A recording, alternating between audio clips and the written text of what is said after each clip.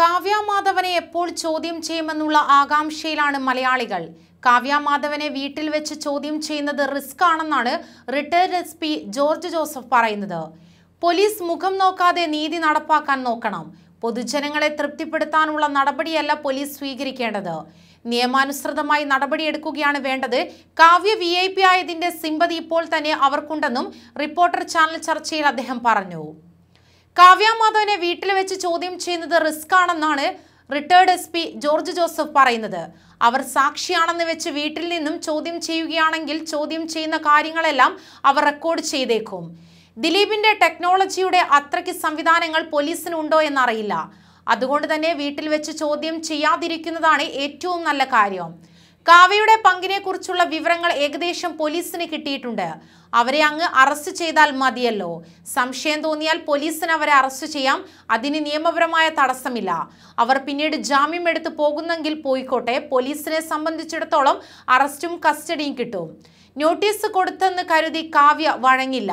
Kavya V I P ആയതിന്റെ sympathy ഇപ്പോൾ തന്നെ ഉണ്ടല്ലോ പോലീസ് മുഖം നോക്കാതെ നീതി നടപ്പാക്കാൻ നോക്കണം പൊതുജനങ്ങളെ തൃപ്തിപ്പെടുത്താനുള്ള നടപടിയല്ല പോലീസ് സ്വീകരിക്കേണ്ടത്. നിയമാനുസൃതമായി നടപടിയെടുക്കുകയാണ് വേണ്ടത്. സാധാരണഗതിയിൽ ഒരു കേസിലെ പരാതിക്കാരി കേസിലെ സാക്ഷി അങ്ങനെയുള്ളവരെയൊക്കെ ചോദ്യം ചെയ്യാൻ വീട്ടിൽ പോകാം. എന്നാൽ ഇവിടെ സാഹചര്യം വ്യത്യസ്തമാണ്. ഇത് വളരെ ഗൗരവമുള്ള ക്രിമിനൽ കേസാണ്. കാവ്യ മാധവൻ ഇവരുടെ സംശയത്തിന്റെ നിഴലിലാണ്. അവർക്ക് ആ മാന്യത കൊടുക്കേണ്ട കാര്യമില്ല. പത്മസരോവരത്തിൽ പോയി ചോദ്യം ചെയ്യുന്നത് മണ്ടത്തരമായിരിക്കാം. പത്മസരോവരത്തിൽ മറ്റു പലരുടെയും സാന്നിധ്യമുണ്ടാകും. ക്രിമിനൽ നടപടിക്രമത്തിൽ പോലീസ് സ്റ്റേഷനിലേക്ക് വിളിപ്പിക്കരുതെന്നേ പറഞ്ഞിട്ടുള്ളൂ.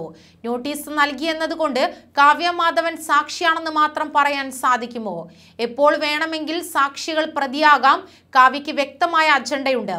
പതിനെട്ടാം തീയതി കഴിയാതെ അവർ പോലീസിന് മുമ്പിൽ വരില്ലെന്നും ജോർജ് ജോസഫ് പറഞ്ഞു.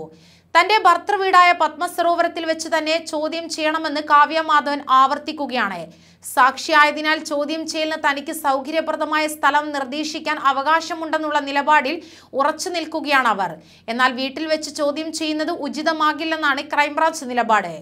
പ്രൊജക്ടർ ഉപയോഗിച്ച് ചില വീഡിയോ ദൃശ്യങ്ങൾ കാണിച്ചും ചില സംഭാഷണങ്ങൾ കേൾപ്പിച്ചുമാണ് കാവ്യ ചോദ്യം ചെയ്യേണ്ടത്.